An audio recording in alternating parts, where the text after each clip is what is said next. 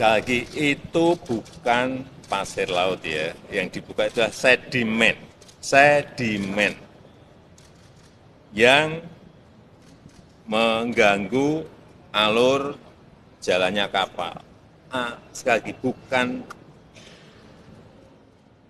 nanti kalau diterjemahkan pasir beda loh ya. Sedimen itu beda. Meskipun wujudnya juga pasir sedimen, tapi sedimen. Coba dibaca di situ, sedimen. Jokowi bisa dipenjara maksimal seumur hidup. Buntut ekspor pasir laut. Nah loh, ada lagi, ada lagi. Ya pasir laut bisa diekspor. Pemirsa pada 30 Mei 2023 Presiden Joko Widodo mengumumkan keputusannya untuk membuka kembali ekspor pasir laut setelah 20 tahun tak diperlakukan. Sementara itu Menteri Perikanan dan Kelautan periode 2014-2019 Susi Pujiastuti pun menentangnya. Kalau bangsa kita isinya orang-orang penakut, ya nanti satu hari jadi loser. Pemerintah beralasan akan mengimplementasikan regulasi yang ketat untuk memastikan bahwa ekspor pasir laut dilakukan secara bertanggung jawab dan sesuai dengan prinsip-prinsip perlindungan lingkungan.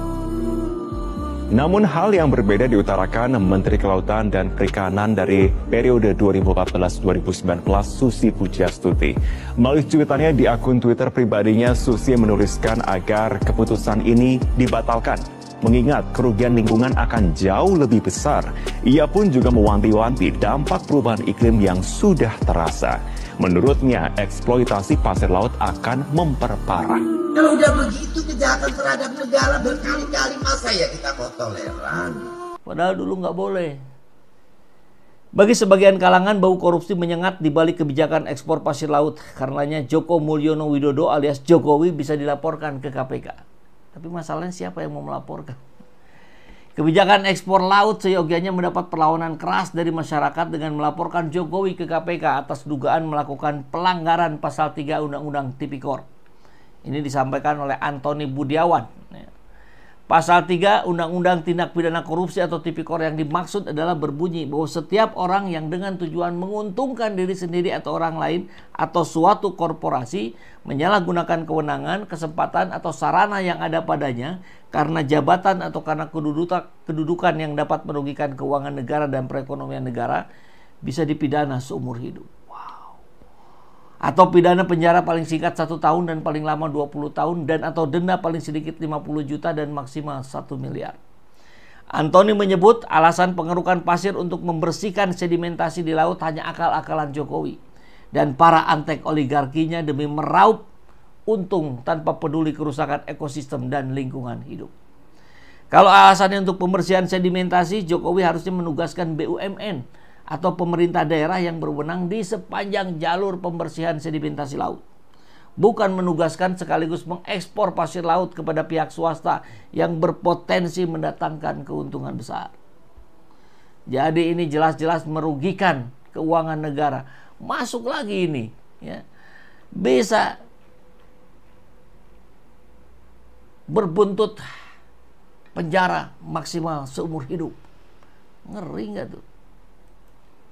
Maka geser lagi ke Gibran, Fufu Fafa bunuh ibu bapak. Rizal Fadilah, kita bacakan ya. Setelah Kaisang membuat skandal flexing dan piknik ke Amerika pakai pisang pribadi, kini Samsul bikin gara-gara lempar bom Fufu Fafa. Konon, waktu itu sedang jumawa dalam membela bapak. Prabowo, sang pesaing papa dibuat babak belur sehancur-hancurnya, hina senista-nistanya. Sulit menghindar bahwa Pupu Papa adalah akun sang putra mahkota. Bom F-2014 yang terus-menerus hingga 2020 yang mencederai SBY, PKS, dan para artis, ada 11 artis katanya yang kena juga. Ya 70 persennya ditujukan untuk melukai Prabowo. Entah ada operasi intelijen apa sehingga pembantaian Fufu Fafa baru terkuak beberapa hari menjelang pelantikan. Seolah ada amunisi dahsyat bagi Prabowo untuk membalas habis pasca pelantikan nanti. Wapres Gibran bakal hancur jadi bubur. Fufu Fafa dengan konten sadis, norak, dan gila diminta oleh Jimli untuk tidak dikembangkan. ada saran agar Samsul minta maaf saja. Sebagian konten dengan panik telah dihapus disangka bahwa jejak digital tak bisa dilacak. Memang bodoh sudah bertumpuk dengan kebodohan. Panik berlipat kepanikan. Ibu bapak yang dulu ketawa mengantar putra kini pucat pasi, pucat pasi membayangkan derita. Fufu Fafa adalah anak durhaka yang membunuh ibu bapak. Mulyono pusing ibu negara pening. Bertahun-tahun memupuk kekayaan dan kekuasaan demi keluarga yang ingin disejahterakan, kini terancam berantakan. Tinggal beberapa hari masa jabatan, IKN tidak menolong. Teman-teman bakal menjauh, bahkan sudah. Para sendera mulai berontak dan KPK pun cari selamat. Pupu Fafa, anak durhaka, mendorong sang putra harus diperiksa sekurangnya. Pertama, kesehatan jiwa. Adakah konten Pupu Fafa ditulis oleh orang gila? Aneh. Orang normal mampu untuk mengeluarkan kata-kata sembrono, porno, bahkan liar di media sosial. Psikiater sudah semestinya turun tangan dan memberi resep obat penenang. Perlu rumah sakit khusus sebagai rujukan. Psikolog harus dilibatin juga ini bukan hanya psikiater. Kedua, kesehatan pikiran. Mungkinkah semacam narkoba telah meracuni? Masih atau mantan?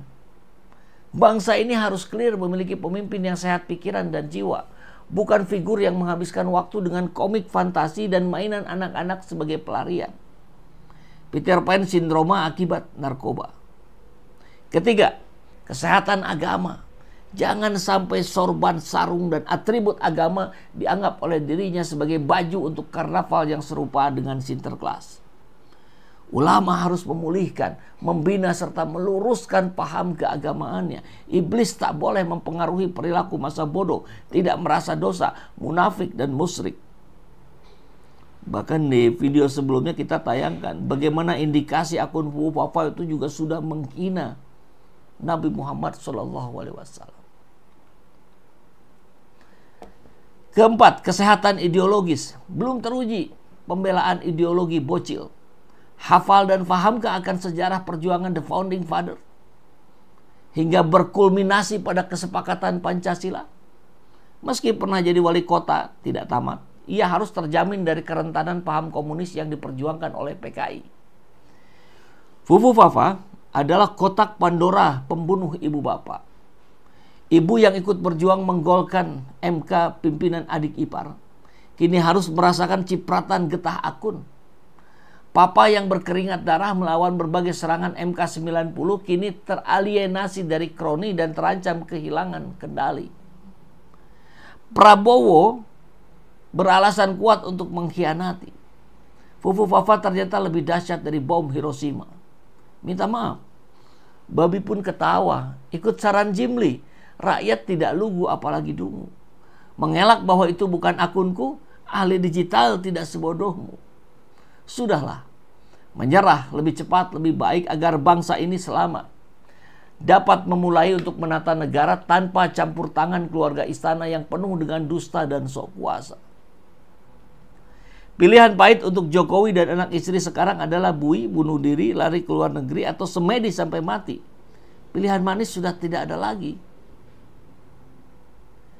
Inna mujrimina fi azabi jahannam khalidun. La yufattaru anhum wahum fihi mublisun. Sesungguhnya pendosa itu ada dalam jahanam selamanya. Tidak meringankan azab itu dari mereka dan mereka di dalamnya berputus asa. Quran Surat Az-Zukhruf 7475 Rizal Fadilah, pemerhati politik dan kebangsaan. Mantap. Kita perkuat datanya. Fufu Fafa diduga menista Nabi Muhammad Shallallahu Alaihi Wasallam. Kita sudah sampaikan videonya tadi siang.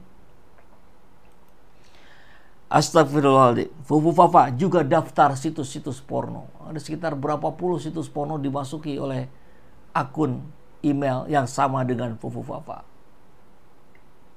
Ya, apalagi? Apalagi yang bisa kita tebak dari senyum misteriusnya Gibran dan Kaisang. Mudah-mudahan Pak Prabowo bisa bertindak cepat sebelum rakyat semakin memuncak kekesalannya kepada dua bocil ini.